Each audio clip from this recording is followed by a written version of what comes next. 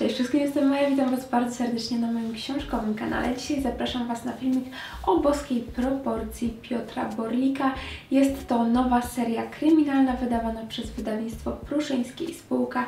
Jeżeli macie ochotę e, posłuchać sobie trochę o książce, w której mordercza zbrodnia przybiera niemalże pięknego wyrazu, rozwinę to myślę za chwilę, no to zapraszam Was do oglądania. W pewnej palmiarni dochodzi do przeokropnej zbrodni, zbrodni, w której ginie młoda kobieta. Natomiast ten cały zbrodniczy akt wyróżnia się na tle wszystkich innych tym, że ciało dziewczyny po zbrodni zostaje ułożone w pięknej aranżacji. Ja wiem, jak okropnie to brzmi, kiedy mowa o martwym ciele oraz czymś, co może być piękne, co może być uznawane jako akt sztuki. Natomiast rzeczywiście cała ta konstrukcja no, prezentuje się co najmniej tak, jak gdyby miało być to jakimś dziełem wielkiego artysty, a nie właśnie masakryczną zbrodnią. Jako pierwsza osoba na miejscu całej tej tragedii znajduje się e, człowiek skazany wcześniej za morderstwo. I pojawia się oczywiście pytanie, w którym Zastanawiamy się, czy on dokonał tej zbrodni, czy po prostu to naprawdę bardzo dziwny splot wydarzeń i przypadek, że znalazł się właśnie w tym miejscu i w tym czasie. Na miejsce zbrodni przybywa pani komisarz, o której porozmawiamy sobie za chwilę. No i ona zaczyna się tą sprawą zajmować razem ze swoim bratem, który jest wielkiej sławy psychologiem. Właśnie od tego podejścia, co kryje się, co może kryć się w umyśle e, tego okropnego zbrodniarza, zaczyna tę sprawę rozpatrywać. Oni nie mają zbyt wiele czasu, bo okazuje się, że mm, odnalezione jest kolejne ciało, że to jest zbrodniarz seryjny, zabójca seryjny, więc jest mało czasu, a sprawę należy rozwiązać, a ta sprawa jest bardziej niż trudna, moi drodzy.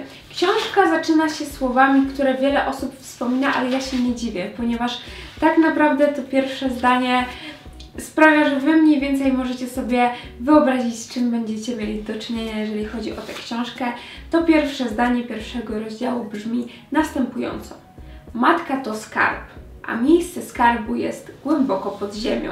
Kryminały nie są książkami, których czytam najwięcej, natomiast w ostatnim czasie naprawdę sporo ich się przewinęło w moim życiu i też mam wrażenie, że jest wiele schematów, które one niestety niejako powielają.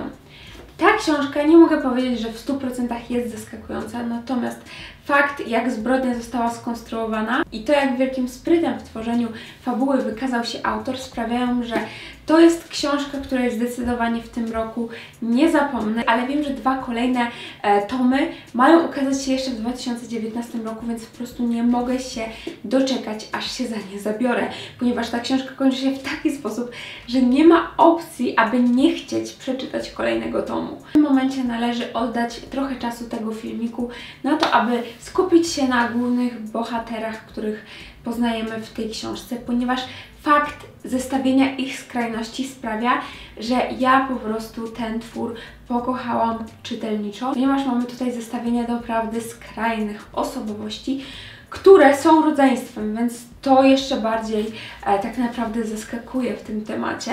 I przynajmniej mi pozostawia szereg pytań odnośnie tej dwójki, które jednak zostawię sobie e, na przyszłe tomy, bo wydaje mi się, że być może niektóre moje podejrzenia mogą się sprawdzić, ale z drugiej strony też nie chcę mówić, że jakiekolwiek moje podejrzenia odnośnie em, książek pana Borlika są w stanie się sprawdzić z tego względu, że dałam się mu wkręcić. Przyznaję Wam, że totalnie dałam się wkręcić e, jego zabiegom w fabule, które sprawiły, że zaczęłam myśleć, że o, ja chyba wiem o co chodzi i układać te wszystkie fakty, a, a koniec końców okazało się, że on po prostu jako się mną, jako czytelnikiem zabawił i e, zwyczajnie e, pokierował moimi myślami tak, żebym myślała o jednym, a prawda była zupełnie z innej strony, której zupełnie się nie spodziewałam, ale jak już mówiłam, mamy porozmawiać trochę o bohaterach, więc komisarz gdańskiej policji, bo to właśnie w tych okolicach e, miała miejsce zbrodnia, Agata Stec jest kobietą, która jest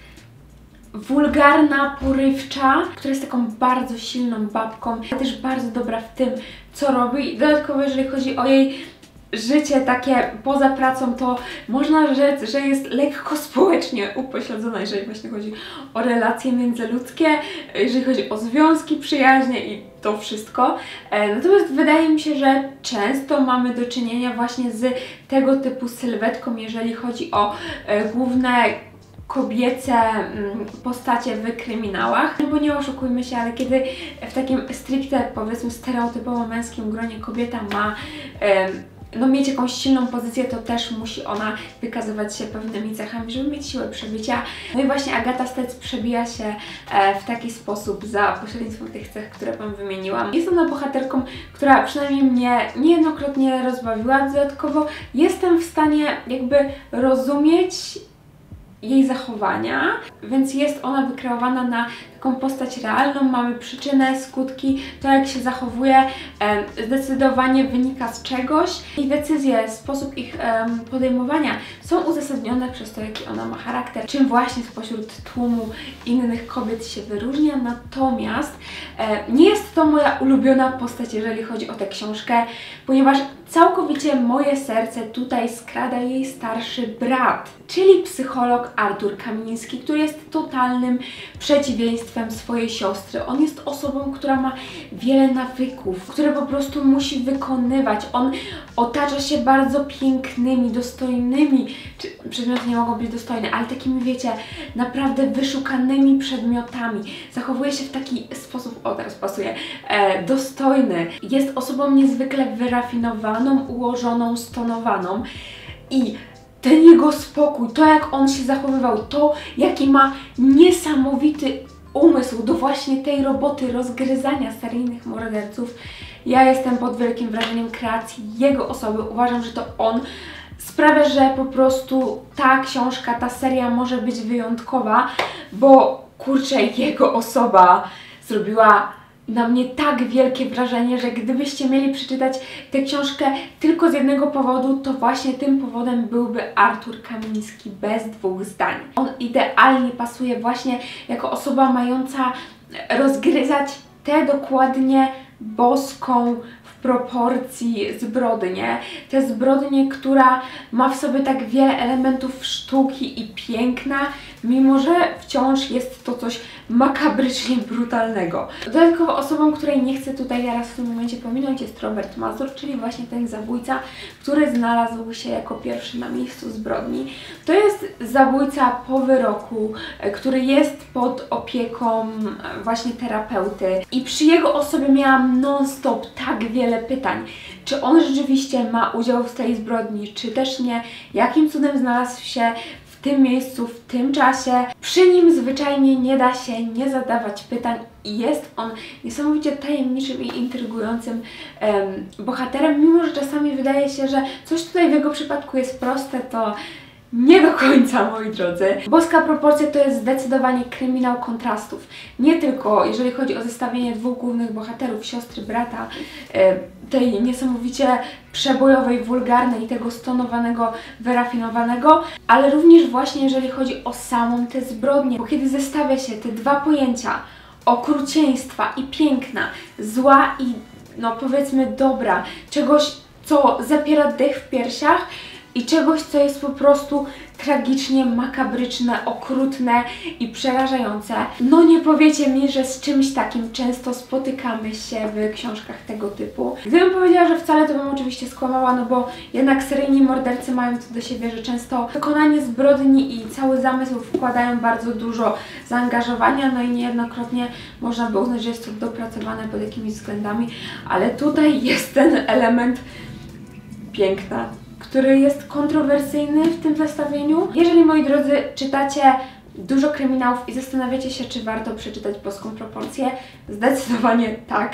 E, ja wiem, że jest dużo dobrych polskich kryminałów na rynku, natomiast ten zdecydowanie wpasowuje się w to grono. Piotr Borlik wie, co robi, wie, jak rozkładać fabułę, wie, jak manipulować czytelnikiem, wie, jak wprowadzać w błąd. Ja czytelniczo jestem niesamowicie ukontentowana, e, jeżeli chodzi o zakończenie tej książki, z tego względu, że Nie spodziewałam się go, więc analogicznie było dla mnie zaskakujące, a coś takiego w kryminałach naprawdę lubię.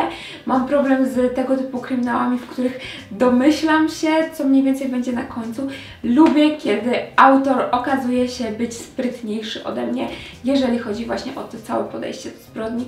Ten zdecydowanie tak robi i to się mu chwali. Jeżeli chodzi o język autora, nie jest on ani trochę toporny. Wydaje mi się, że kiedy zaczniecie czytać tę książkę, to po prostu zrobicie dokładnie tak jak ja, czyli usiądziecie i na jednym dosłownie poczekaniu, na jednym posiedzeniu e, przeczytacie tę książkę. Ja zrobiłam to wczoraj wieczorem i moi drodzy, kiedy tylko książkę przeczytałam, usiadłam i postanowiłam, że muszę Wam ten filmik nagrać. Zainteresujcie się, jeżeli szukacie dobrego polskiego kryminału, który Was zaskoczy i w którym ta zbrodnia jest naprawdę dopracowana w 101%, ale też, jeżeli jeszcze na przykład z kryminałami nie macie zbyt wiele do czynienia, to wydaje mi się, że od tego najbardziej możecie zacząć, bo właśnie czytając tego typu kryminał w tym gatunku totalnie się zakochacie i się wciągniecie, bo podejście psychologiczne do tego wszystkiego naprawdę na mega wysokim poziomie. Gratuluję autorowi tej niesamowitej wiedzy, którą miał,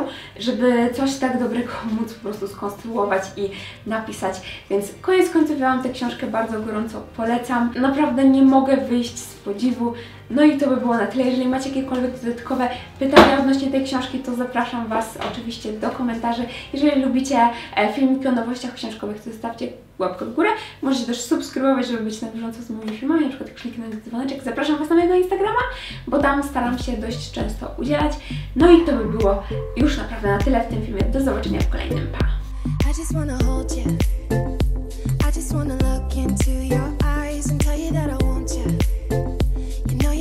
So.